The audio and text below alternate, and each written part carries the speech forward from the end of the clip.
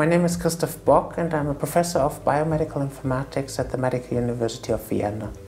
I'm also leading a research lab at the Center for Molecular Medicine of the Academy of Sciences where we combine uh, wet lab biology with computational methods.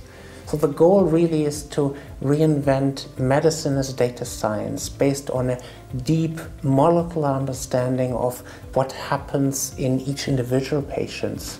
Um, and for that, uh, computational methods are really essential in combination with high throughput technology. Methods such as genome sequencing, um, epigenomics, high throughput imaging, and CRISPR technology. They provide a huge, huge amount of data. And these data can no longer be just analyzed by looking at it. We need very powerful computational methods. And this is really our research focus to try and integrate these uh, computational methods into biological discovery.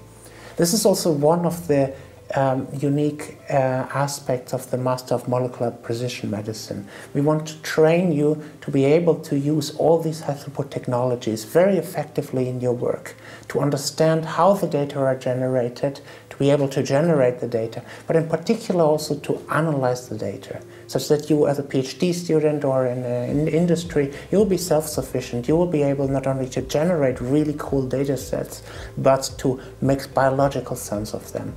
Don't worry, we don't expect that you already know how to program when you join our program. Uh, we will be able to, to teach you the fundamentals of bioinformatics, for example, and we will do this through teamwork. So you will work together in an interdisciplinary team of, of students and um, learning what you need to learn to, to really make the best of the future of molecular precision medicine.